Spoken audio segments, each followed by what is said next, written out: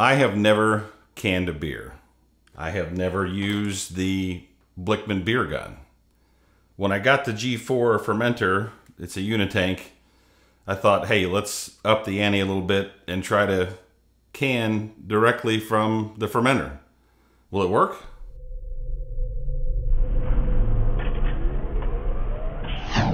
Full disclosure on this, Oktober did send me the SL1 canner and some cans. I'm going to be doing an in-depth review once I spend some more time with it. Blichmann did send me the beer gun probably more than a year ago, so hopefully they're not watching. Maybe they probably won't send me anything ever again. But just to kind of set this up for you, this the beer that was in the fermenter is the wedding stout that I did for a wedding party that's coming up here. I chilled it down to 40 degrees, put 10 psi on the carbonation stone in there. So let it sit for about a week at 10 psi, 40 degrees. And that was like the perfect carbonation level for the beer. Then, like I said, I, I really have not ever used the SL1. And other than maybe one time I did a, a can of water that they kind of recommend you do when you first get it. I actually hooked up a MFL or a male flare fitting to the aseptic valve on the fermenter, hooked the beer gun up to my CO2 tank at 10 psi, and then just proceeded to start trying to can. And you know, I'm not gonna lie to you, it, it was definitely a learning curve. But one of the things that made the process easier, in my opinion, is the aseptic valve on the G4 has a linear flow valve.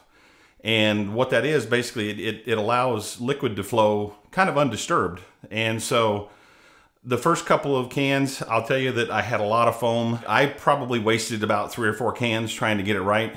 And one thing I noticed as I was doing it that there wasn't really enough flow and it seemed like it was kind of foaming a little bit. But what I did was as I opened the valve a little bit more each time because I was trying to figure out exactly the good flow rate with low foam and all that stuff, I finally got it. I was able to get it dialed in and purge the can, fill it up in a relatively quick amount of time, really, with no foam, spray on top, put the lid on and do the canning operation. And I'll tell you, it, not having done canning before, just following a few of the simple videos online, I was able to successfully can four beers, which I want to give to the bride and groom to kind of take home after the, the reception, and with no problem. The only thing I did have was one of them.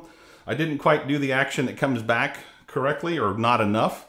And I noticed that there was a little bit of a leak on it, but what I did was I, I compared it to the other cans to try to see what was wrong. And I noticed that that second crimp wasn't quite flat. So threw it back in the SL1, did a little bit more of a crimp on it, and it didn't leak anymore. So I, I have to say I'm very impressed with the SL1.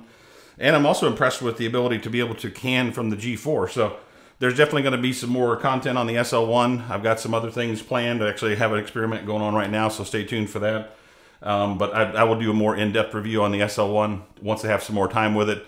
But uh, this really, this thing really is a game changer. I think it's going to be really cool to be able to maybe brew a little bit more beer than what will fit in a keg and then can some off and throw them in the fridge and have them for, you know, taste your beer six months, a year later, see how it holds up. So this has been Brian for Short Circuited Brewers. We certainly do appreciate your viewing and liking and subscribing. We'll see you on the next video.